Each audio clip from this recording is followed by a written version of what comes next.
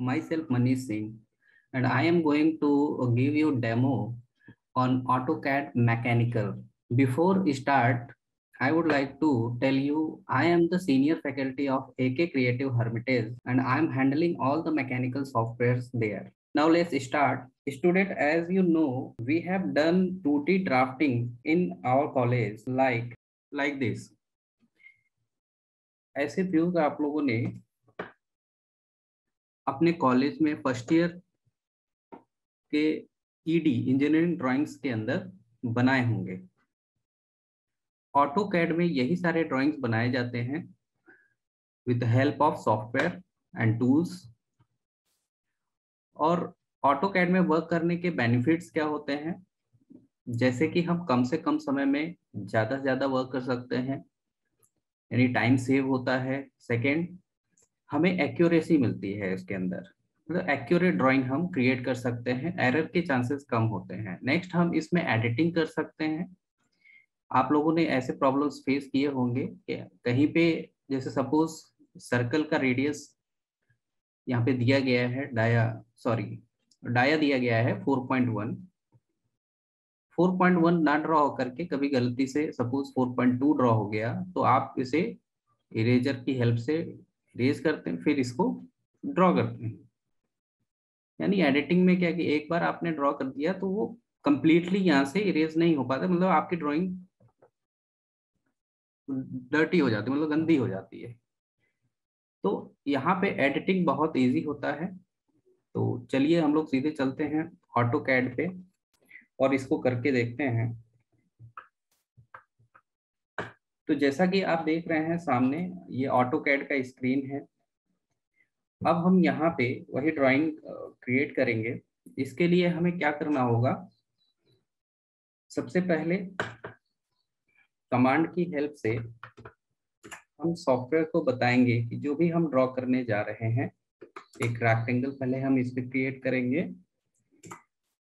इसके कॉर्नर्स पे round apply होना चाहिए और इसकी जो लेंथ और विड्थ है, वो कितनी होनी चाहिए? 38 एट इंटू थर्टी इसमें गिवन है। ड्राइंग में हमारे गिवन है। 38 एट इंटू थर्टी और हमने कमांड प्रोवाइड किया एंटर किया। ये देखिए, हमारे सामने एक रेक्टेंगल बन के आ गया, जिसके कॉर्नर्स पे ये राउंड अप्लाइड है। ये राउंड है 4.5 का। देन अब इसके अंदर हमें क्या करना है? सेंटर लाइन क्रिएट करने हैं। सेंटर लाइन क्रिएट करने के लिए हमने यहाँ से लाइंस बना लिए।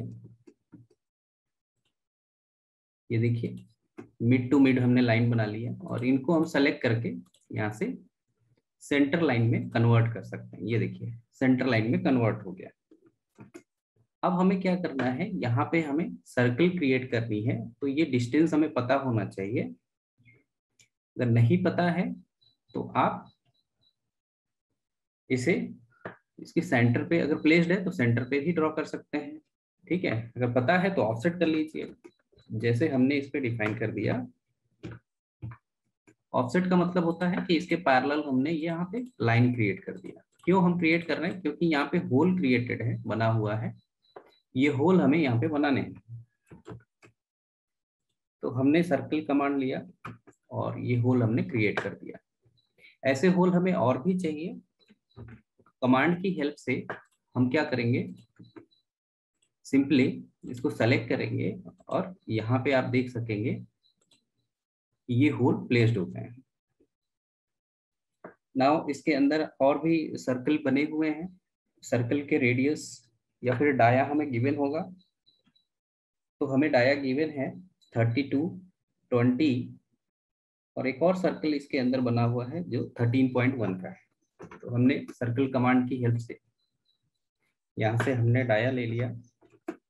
ट्वेंटी अगेन हमने डाया डिफाइन किया थर्टी टू और एक और सर्कल यहाँ पे बनाई गई है जिसका डाया हमें गिवन है थर्टीन पॉइंट वन ऐसा। तो हम देख सकते हैं कि यहाँ पे हमने ये जितने भी इसके ज्योमेट्रिक लाइन और सर्कल्स हैं, वो हमने क्रिएट कर लिया है। अब हमें ज़रूरत है इसकी साइड व्यू की। साइड व्यू हमें ड्रॉ करना है तो इसके लिए हमें क्या करना होगा? ऑटो कैड के अंदर हम प्रोजेक्शन लाइन लेंगे। प्रोजेक्शन लाइन सपोज़ कि हमें हॉरिजॉन्टल चाहिए तो हमने हॉरिजॉन्टल डायरेक्शन में ये प्रोजेक्शन लाइन ले लिए।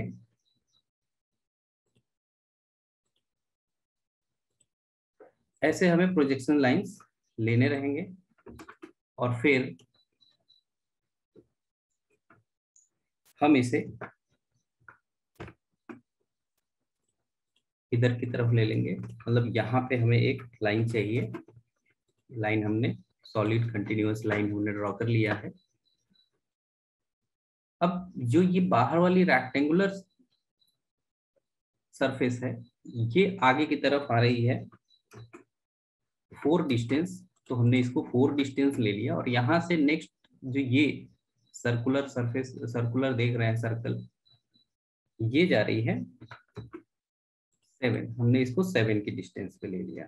फिर नेक्स्ट है जो कि twenty one point eight distance तक आई हुई है तो हमने ट्वेंटी वन पॉइंट एट लिया और इसको ट्वेंटी वन पॉइंट एट पे प्लेस कर दिया। और फिर कुछ लाइनें जो होंगी, वो हमें यहाँ से ट्रिम करनी होंगी।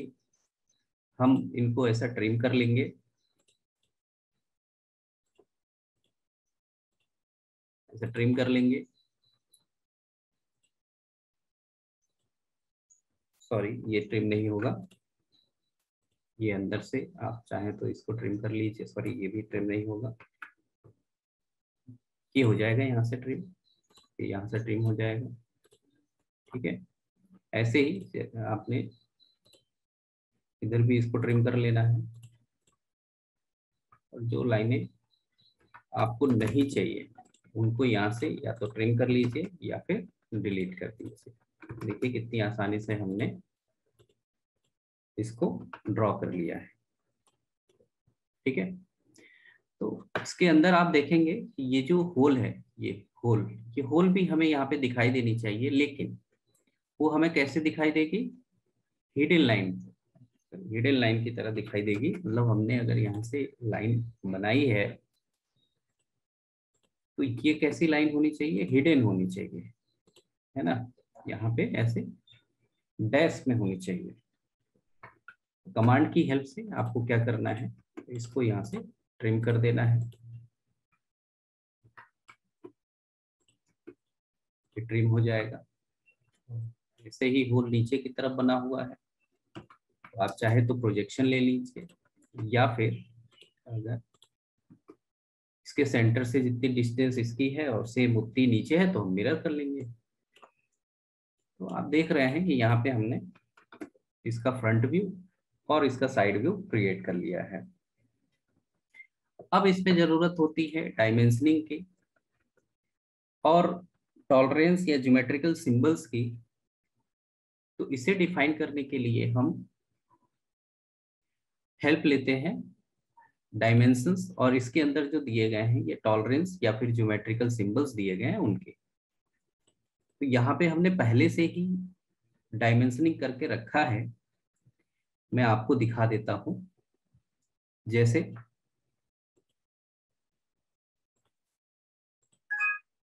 ये आप देख सकते हैं, ये हमारा पार्ट है। इसके अंदर हमने ये सेंटर लाइन प्रोवाइड कर दिया है, ये सेंटर लाइन है। नेक्स्ट जो भी इसके अंदर हिडन लाइंस होंगे, उनको भी हम यहाँ पे शो करेंगे। जैसे कि ये होल है होल में आप देख रहे हैं, यहाँ पे हिडन लाइन दिखाई दे रही है।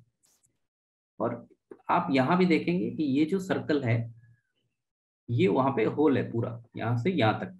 तो इसे भी हम हिडन लाइन से शो करेंगे। देन अब बात आती है डायमेंशन की तो हम यहाँ पे डायमेंशनिंग करते हैं, जैसा कि आप देख रहे हैं। यहाँ पे इसकी डायमेंशनिंग हो रही है। एक करके मैं आपको दिखा देता हूँ। डायमेंशनिंग करने के लिए हम कमांड लेते हैं। और पॉइंट टू पॉइंट क्लिक करने के बाद इसको हम यहाँ पे प्लेस कर देंगे। ठीक है?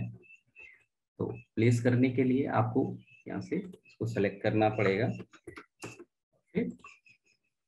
तो पॉइंट टू पॉइंट क्लिक करके ऐसा प्लेस कर दीजिए। नेक्स्ट नेक्स्ट आपको क्या करना है? सेम अगर सर्कल के सेंटर टू सेंटर डिस्टेंस चाहिए तो आप सर्कल के सेंटर टू सेंटर डिस्टेंस को ले लीजिए और इसको शो कर दीजिए। तो ऐसे आप दिखा सकेंगे इसके डायमेंशंस आप इसमें भी देख सकते हैं, सारे डायमेंशन इसके भी शो कर दिए गए जैसे कि मैंने बताया था कि ये फोर है, फिर इसके आगे ये सेवन फिर ये ट्वेंटी पॉइंट फाइव डायमेंशनिंग के बाद आपको इसके अंदर geometrical symbols and tolerance show करना होता है। ये देखिए कि मैंने पहले ही कर रखा है, आप इसे यहाँ पे प्लेस कर सकते हैं। इसके लिए आपको क्या करना होगा?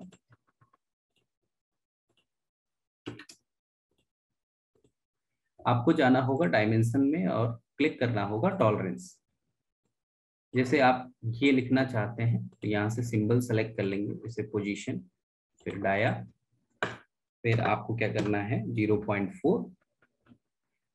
एल का मतलब होता है लीस्ट मटेरियल कंडीशन ये सारे सिंबल्स के बारे में आपको बताया जाएगा जब आप सॉफ्टवेयर करेंगे। Datum reference A and datum reference B okay कीजिए, आप देखेंगे। यहाँ पे ऐसे लिख करके आ गया। तो ऐसे आप ज्योमेट्रिकल सिंबल्स एंड टॉलरेंसेस को डिफाइन कर सकते हैं। ये आपके ड्राइंग में आप देख रहे हैं। कि डायमेंशन शो हो गए हैं tolerances and geometrical symbols show हो गया है, यहाँ पर भी आप देख रहे हैं। अब आपको सपोज़ कि इसका सेक्शन व्यू दिखाना है सेक्शन व्यू सेक्शन व्यू के लिए आपको क्या करना होगा? फिर से ये ड्राइंग बनाने की ज़रूरत नहीं है। आप इसको सेलेक्ट कीजिए और इसकी एक कॉपी क्रिएट कर लीजिए। कॉपी ऐसे, ठीक है? और फिर सेक्शन में होता क्या है? सपोज़ कि हमने इसको यहाँ से कट करा, ठीक है? यहाँ से हमने इसको कट किया। ये जो है, हमने यहाँ से काट दिया इस पार्ट को। तो पार्ट कर काट, कट करने के बाद किसी एक डायरेक्शन से इसको देखेंगे तो जहाँ पे होल होगा, उधर पे कोई मटेरियल नहीं होगा। लेकिन जहाँ मटेरियल है, वो हमें यहाँ पे शो करना पड़ेगा।